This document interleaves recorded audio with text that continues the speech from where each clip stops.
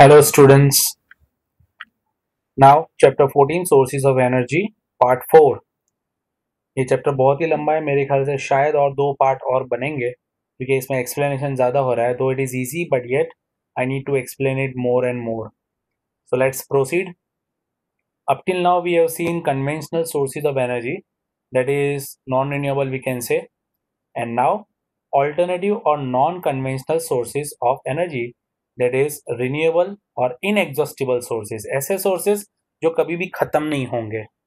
Let's see with the technology progress our demand for energy increases day by day our lifestyle also changes we use machine to do more work and more of our task our basic requirement are also increasing as industrialisation improve our living standard अब यहाँ पे एक activity four point fourteen की बात करें find out your grandparents और other elders how did they go to school school कैसे जाते थे? या तो साइकिल पे या तो पैदल जाते थे?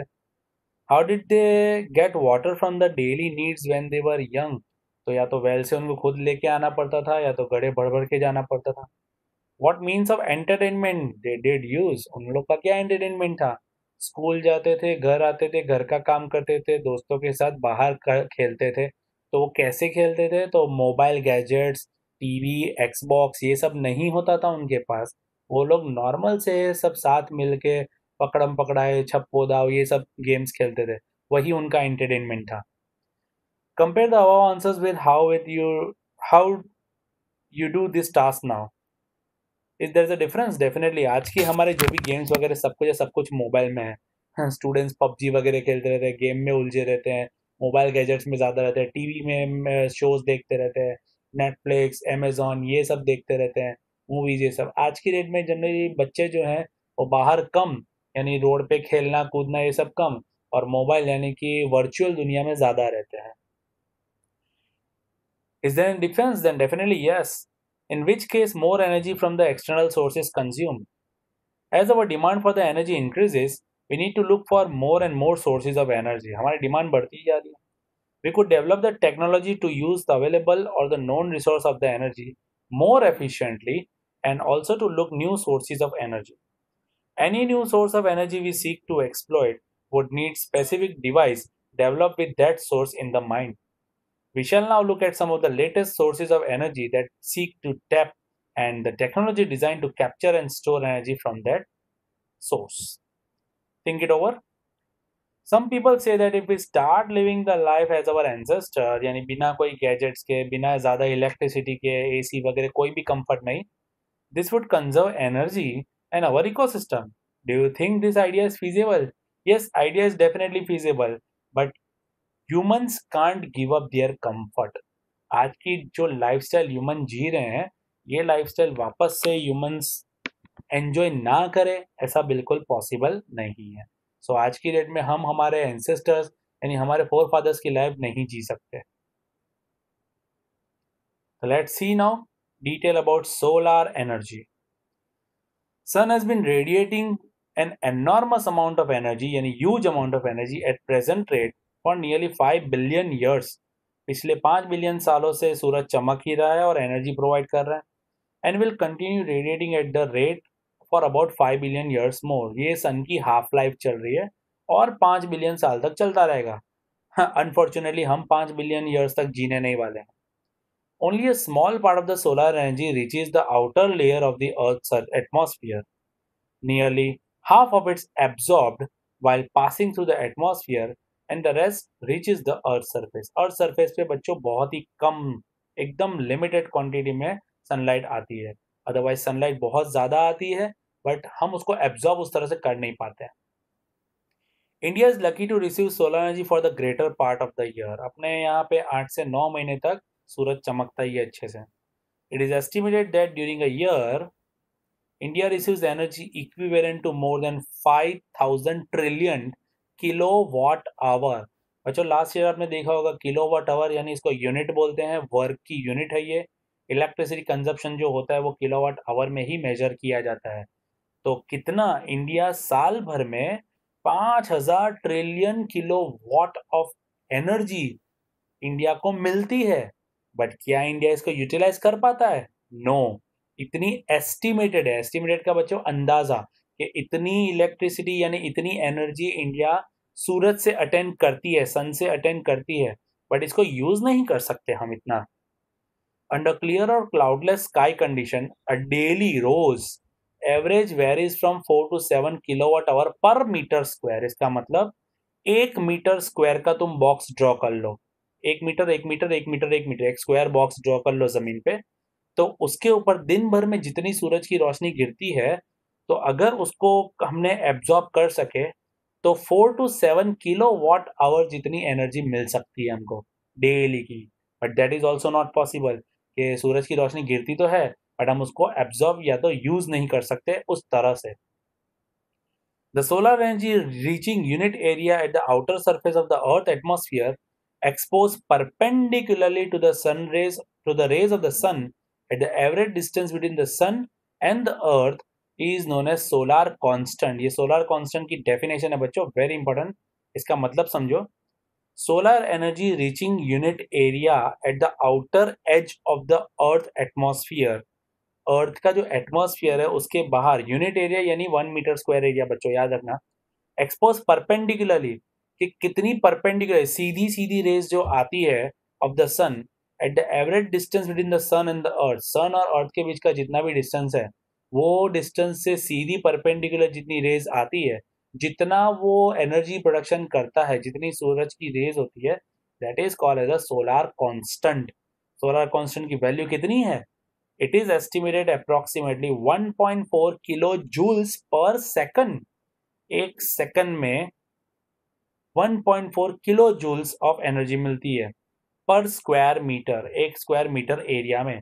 अपना इंडिया बहुत बड़ा है 32.8 lakh square kilometre kilometre lakh square kilometre so huge amount of land is there but इन सारी की सारी एनर्जी को अपने यूटिलाइज नहीं कर सकते। इसका दूसरे फॉर्म में अगर सोचे तो 1.4 किलोवाट पर मीटर स्क्वायर भी है। तो ये वैल्यूज़ क्या है, किस तरह से, वो तुमको फ़िलहाल अभी समझ में नहीं आएगा। हमको इलेक्ट्रिसिटी चैप्टर हम जब देखेंगे क्लास में, तब ज़्यादा डिटेल में समझ में आएगा, तब और भी वापस से एक्सप्लेन करूँगा ये चीज़। फ़िलहाल इतना समझ लो कि एक मीटर स्क्वायर एरिया में 1.4 किलो वाट ऑफ़ इलेक्ट्रिसिटी, और वी कैन से एनर्जी जो है, सूरज की तरफ़ से आती है, वो भी सिर्फ़ एक सेकंड में, एक सेकंड में बच्चों। तो सोच सकते हैं, अगर हम इस एनर्जी को यूटिलाइज करने में कामयाब हो सके तो कितनी ज़्यादा एनर्जी हमको मिल सकती है।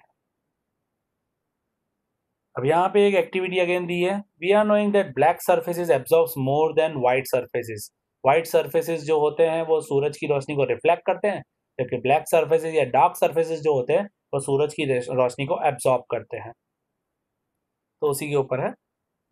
The black surface absorbs more heat as compare to the white और reflecting surface under the identical condition solar cooker बच्चों, ये सोलार कुकर का डायग्राम है, आपको ये ड्रॉ भी करना पड़ सकता है, बहुत ही इंपॉर्टेंट है। Solar cooker and solar water heater use the property in their working use this property in their working some solar cooker achieved a higher temperature by using mirrors concave mirrors use करते हैं। Concave mirrors जो होते हैं बच्चों, ये इस type का mirror होता है।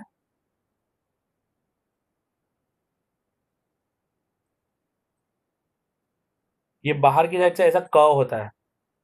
इस टाइप का, ये कॉन्केव मिरर हो गया ओके तो कॉन्केव मिरर की कैरेक्टरिस्टिक है बच्चों, ये रेस को रिफ्लेक्ट करके एक जगह पे कॉन्सेंट्रेट करता है।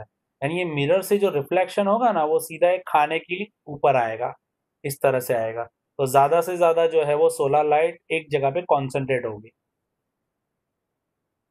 So high temperature by using mirrors to focus the rays of the sun solar cookers are covered with the glass plate बच्चों, ये जो है वो ब्लू कलर का आप लोग बॉर्डर देख रहे होगे, ये ग्लास प्लेट है। अब ग्लास प्लेट आपको पता ही है। Recall what we have learn about the green house effect अगर ये खाने के कंटेनर को ग्लास के अंदर रखेंगे, यहाँ से हीट अंदर जाएगी तो ग्लास इज़ एन इंजुलेटर बच्चों। आपको पता है कि ग्लास के अंदर से हीट ज़्यादा बाहर एस्केप होगी नहीं, और अंदर की हीट अंदर ही रहेगी। तो खाना एकदम तेज़ी से पकेगा।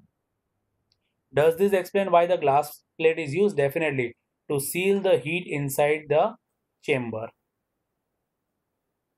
Study the structure and working of the solar cooker or the solar water heater, particularly with regard to how it is insulated. किस तरह से उसको insulated रखते हैं यानी heat को बरकरार रखते हैं and maximum heat absorption is ensured. तो before going that यहाँ पे कुछ advantages और disadvantages है वो भी हम लोग देख लेते हैं सोलर कुकर की मैंने लिखी हुई है advantage of solar cooker it saves fuel खाना बनाने के लिए जो हमको लकड़ी वगैरह यूज़ करनी पड़ती थी, वो यूज़ नहीं करनी पड़ेगी। एयर पॉल्यूशन बिल्कुल नहीं होता क्योंकि कुछ जल ही नहीं रहा है। सिंस फ़ूड कुकिंग स्लोली धीरे धीरे खाना पकता है so nutrients do not get destroy nutrient किसी भी तरह से डिस्ट्रॉय होंगे नहीं। It can cook four food items at a time एक साथ चार आइटम्स यहाँ पे रख सकते हैं हम लोग अलग अलग डिस्टेंस पे और ये मिरर के थ्रू रिफ्लेक्शन होके यहाँ पे खाना बनेगा। तो ये सोलर कुकर का हमारा बहुत ही सिंपल सा स्ट्रक्चर बनाया जाता है। इसी को लिमिटेशंस भी है बच्चों। तो limitations of using solar cooker और heater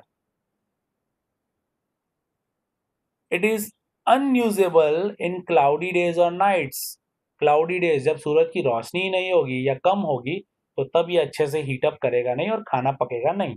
और रात को तो डेफिनेटली सूरज की रोशनी होती ही नहीं है। कैन नॉट कुक चपाटीज और फॉर फ्राइंग एकदम डीप फ्राई करने के लिए बहुत ज़्यादा हीट चाहिए। तो इतनी ज़्यादा हीट भी प्रोड्यूस नहीं करता ये। और चपाटीज वगैरह बनाने के लिए भी यूज़ नहीं होता ये। ये चीज़ों को सिर्फ़ गर्म करने के लिए यूज़ होता है। Direction needs to be change from time to time to enable it to face to the sun rays देखो बच्चों, ये जो होता है मिरर तो वो सन की डायरेक्शन में रखना पड़ता है। तब जाके यहाँ कॉन्सेंट्रेशन होता है। अब सूरज एक जगह पे तो रहता नहीं है। तो डेफिनेटली मिरर्स को, यानी कि ये पूरे बॉक्स को, पूरे सोलर कुकर को टाइम टू टाइम हमको खिसकाना पड़ता रहेगा, उसको अरेंज करता रहना पड़ेगा। तब जाके सूरज की रोशनी कंटिन्यूसली इस चेंबर के अंदर गिरेगी। तो ये इसकी कुछ लिमिटेशंस थी। So design and build the solar cooker water heater using low cost material available and check what the temperature was achieve in your system discuss what would the advantage and limitation of using this तो हमने already discuss कर ली है। तो that was solar cooker और solar cooker से I mean solar energy से दूसरी भी एक बहुत ही इंपॉर्टेंट चीज़ है, जो क्या है solar cell let's see it is easy to see that these device are useful at the certain times during a day the limitation of the using solar energy is overcome by using solar cell that convert solar energy into electricity solar energy को electricity में convert करने का principle है solar cell का। Solar cell के बारे में आपको पता ही होगा बच्चों, ये सिलिकॉन से बनता है और वो भी हाई ग्रेड सिलिकॉन से नॉर्मल सिलिकॉन से खाली नहीं बनता। वेरी इंपॉर्टेंट ये फिगर याद रखना बोर्ड में लास्ट टाइम पूछा गया था। A typical solar cell develops a voltage of 0.1 to 0 sorry 1 voltage 0.5 to 1 volt and can produce about 0.7 watts of electricity when exposed to sun. Very important. एक cell एक solar cell typical solar cell जो रहता है, वो voltage कितना create करता है? Point one point five से वन वोल्ट तक क्रिएट कर सकता है and it produce about zero point seven watts of electricity when expose to sun point seven watts बहुत ही कम है बट एक सेल की इतनी एनर्जी प्रोड्यूस कर सकता है। बट ऐसे बहुत सारे सेल एक साथ लगा दिए जाए तो? Large number of solar cells are combined in an arrangement call the solar cell panel ये सोलर सेल पैनल है आपने देखा ही होगा बच्चों।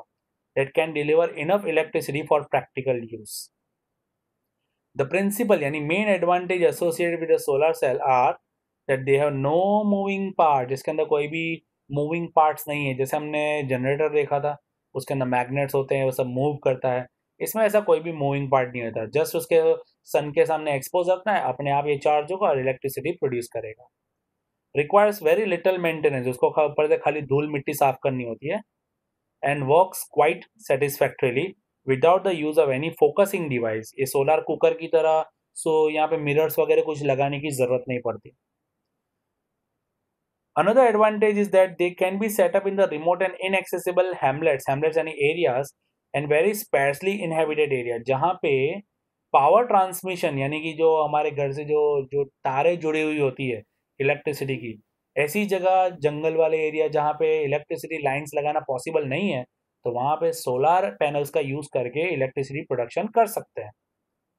द लाइन में be expensive and not commercially viable यानी सूटेबल तो ऐसी जगहों पे सोलर सेल्स या सोलर पैनल का यूज़ करके इलेक्ट्रिसिटी प्रोडक्शन कर सकते हैं। Silicon is the used to make solar cell is abundant in nature, but availability of special grade silicon for making solar cell is limited. Solar cell बनाने के लिए special grade का silicon चाहिए वो बहुत ही कम है।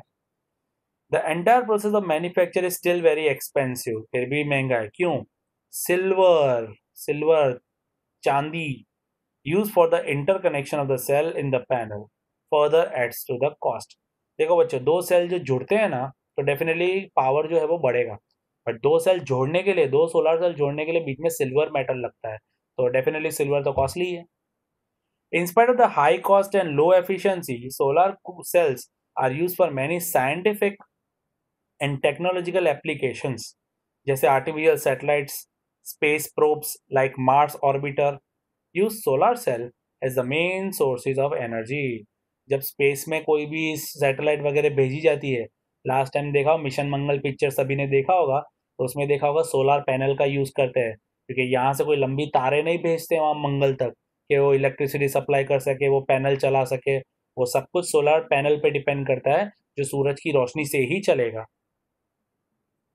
radio and wireless transmission system और TV relay station in the remote locations solar cell panels traffic signals calculators and many toys are fitted with solar cell the solar cell panel are mounted on specially design incline roof tops बच्चों, ये जो top है ना, ये सीधा सीधा नहीं होता, ये इंक्लाइन ऐसे क्रॉस रखा जाता है ताकि सूरज की रोशनी मैक्सिमम इसके ऊपर गिरे।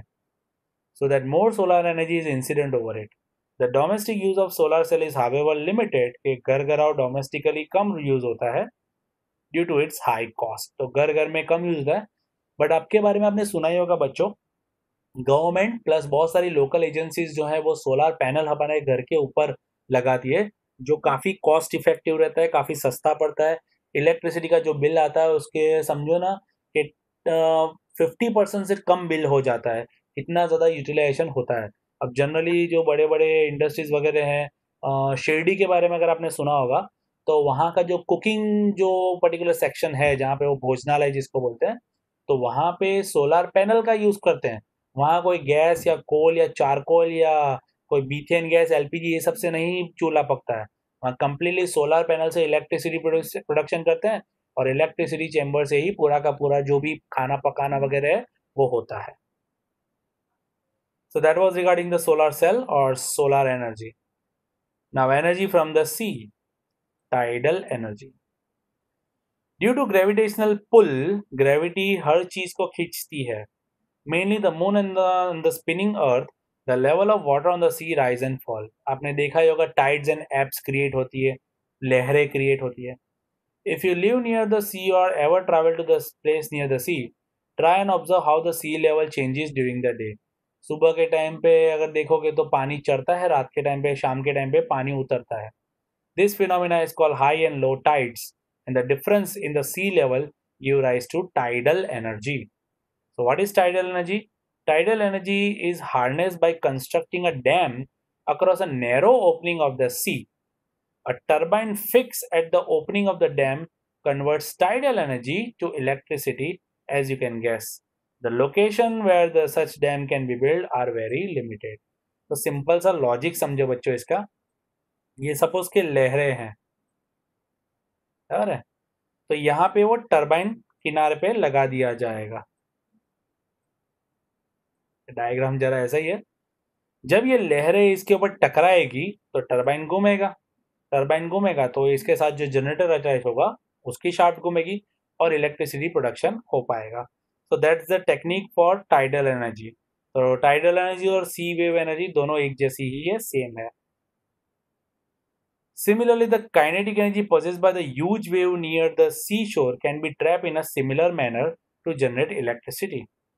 The wave generated by the strong winds blowing across the sea wave would be viable proposition only where the waves are very strong. जहाँ पे हवा काफ़ी strong होगी वहाँ पे लहरें काफ़ी strong होगी और जहाँ लहरें strong होगी तो वहाँ पे टरबाइन जो है इजीली घूम पाएगा लहरों के टकराव की वजह से A wide variety of device has been developed to trap wave energy for the rotation of turbine and production of electricity.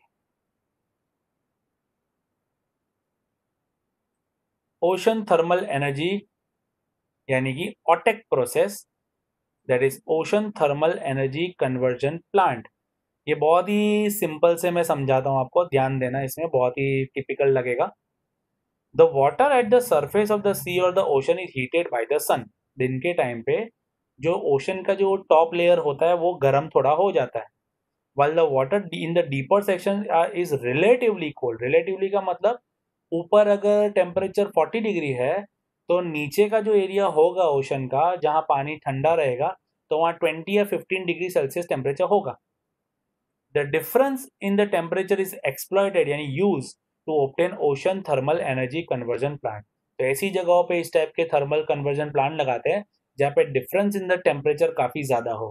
तो इसका फ़ायदा क्या है? तो let see these plant can operate if the temperature difference is between the water at the surface and the water at the depth of up to two kilometre is twenty degree और more ऊपर के और नीचे के surface के बीच का अगर difference दो किलोमीटर जितना है, या उससे ज़्यादा और टेम्परेचर डिफरेंस 20 डिग्री या उससे ज़्यादा है तो ऐसी जगहों पे ocean thermal energy conversion plant लगा सकते हैं। अब होता क्या है इसमें बच्चों? The warm surface water is use to boil the volatile liquid like ammonia बच्चों अमोनिया जो है, वो बहुत ही ठंडा सा कंपाउंड है अमोनिया इसको थोड़ी भी हीट देंगे ना तो वो गैसेस फॉर्म में कन्वर्ट हो जाता है। इसका लिक्विड फॉर्म जो होता है वो फ्रीजिंग टेम्परेचर पे होता है। तो इसको थोड़ी सी भी हीट देंगे ना तो ये वेपर में कन्वर्ट हो जाएगा। तो बॉयल ऑफ़ वॉलेटाइल वॉलेटाइल यानी मैंने पहले भी बताया जो इजीली इवापोरेट हो जाए ऐसे मटेरियल तो अमोनिया ऐसा मटेरियल है। तो क्या करेंगे बच्चों? सरफेस पे, अब देखो ये दो लेयर है। ये हॉट लेयर है और ये कूल लेयर है सरफेस का। यहाँ पे जब अमोनिया रिलीज़ करेंगे पाइप के थ्रू तो अमोनिया जो है यहाँ से गर्म होके दूसरी जगह पे यहाँ पे पाइप के थ्रू ही कनेक्ट करके लाया जाएगा।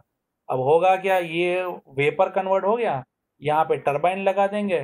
टरबाइन जो होगा, अगेन यहाँ स्टीम प्रोडक्शन होगा, ये डायग्राम बहुत अच्छा नहीं बना है, बट जो स्टीम प्रोडक्शन होगा, उसकी वजह से टरबाइन घूमेगा। तो बेसिकली यहाँ पे वाटर का यूज़ नहीं कर रहे हैं बट वाटर के अंदर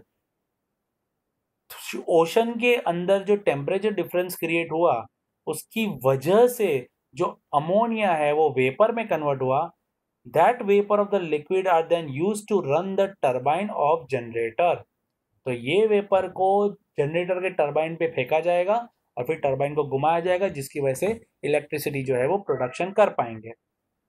The cold water from the depth of the ocean जब ये गैस नीचे जाएगा तो नीचे का टेम्परेचर तो कम है तो वापस से अमोनिया जो है वो लिक्विड फॉर्म में आ जाएगा।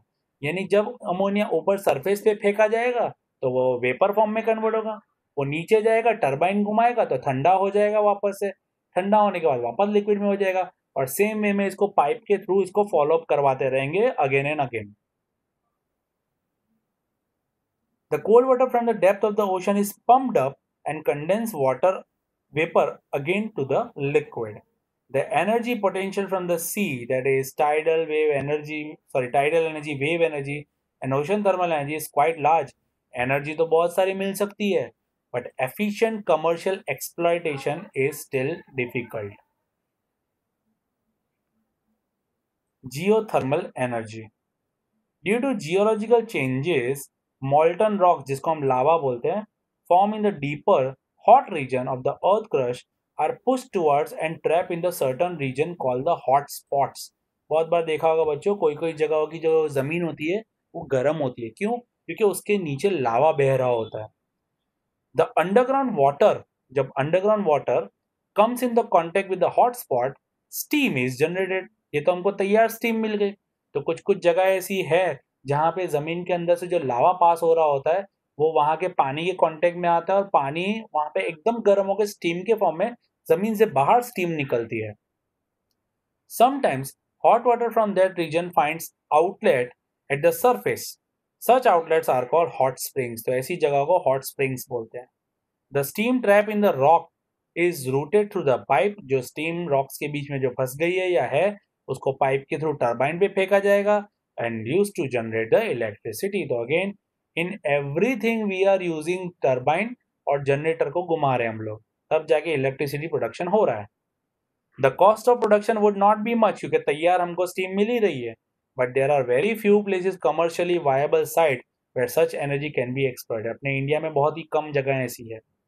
There are number of power zone based on geothermal energy at New Zealand and United States of America America और यूनाइटेड स्टेट्स में बहुत सारे ऐसे कम जगह बहुत ज़्यादा जगह है बट इंडिया में बहुत कम है। अपने गुजरात में कौन कौन सी जगह है बच्चों? तो उनाई है जो नवसारी के पास है तुलसी श्याम है जो अमरेली के पास है, और लसुंदरा जो है वो खेड़ा डिस्ट्रिक्ट के पास है। तो इन तीन जगहों पे जो है, खास करके इस टाइप से गर्म पानी के सोते, ऐसा बोलते हैं दैट इज़ जियोथर्मल एनर्जी तो we have seen geothermal energy जो स्टीम जो होती है रॉक लावा रॉक्स में से क्रिएट होके डायरेक्टली अपने टर्बाइन घुमा सकते हैं। We have seen ocean thermal energy जो अमोनिया का यूज़ करते हैं, जो कि एक वॉलेटाइल मटेरियल है ओशन के अंदर के टेम्परेचर डिफरेंस को यूज़ करके हम इजीली कन्वर्ट कर सकते हैं स्टीम बना सकते हैं बट ये जो स्टीम होगा वो वाटर का नहीं अमोनिया का होगा, जो हम टर्बाइन पे फेंकेंगे, जिसकी वजह से इलेक्ट्रिसिटी जो है वो जनरेट कर पाएँगे। Then we have seen wave energy जहाँ पे स्ट्रॉन्ग विंड ब्लो करती होगी, वहाँ पे डेफिनेटली स्ट्रॉन्ग वेव्स क्रिएट होगी, जिसकी वजह से हम टर्बाइन पे ये वेव्स को, जहाँ पे ये जो पूरा सेटअप होगा ना बच्चों, किनारों पे लगाया जाएगा, ताकि वेव्स जो है वो किनारे तक आए, टकराए और टर्बाइन जो है वो घूमे।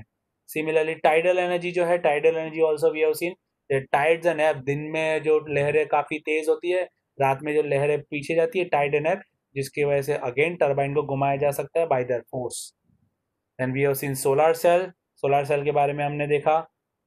A typical solar cell point one से वन वॉट वोल्ट तक का वोल्टेज प्रोड्यूस कर सकता है एंड सेवन वॉट्स तक की इलेक्ट्रिसिटी प्रोड्यूस कर सकता है एक सेल ऐसे कई सारे सेल लगा देंगे तो it will make a solar panel solar panel हमने देखा है बच्चों स्पेस में सेटेलाइट्स वगैरह में यूज़ करते हैं। Then we see solar cooker solar cooker की लिमिटेशन हमने देखी, उसके एडवांटेजेस हमने देखे, उसका स्ट्रक्चर हमने देखा कॉन्केव मिरर यूज़ होता है वो भी हमने देखा and so on solar constant हमने देखा कि पर्टिकुलर सोलर एनर्जी किसी एक यूनिट एरिया यानी एक मीटर स्क्वायर एरिया अर्थ के एटमॉस्फेयर में परपेंडिकुलरली जब एंटर करती है then the earth receive this from the average distance between the sun and the earth is called as a solar constant its value is approximately 1.4 kilowatt per metre square जो कि काफ़ी ज़्यादा है but unfortunately we are unable to use that solar energy quite large क्योंकि अपने पास ऐसे devices नहीं है okay bachcho so that was all regarding for this video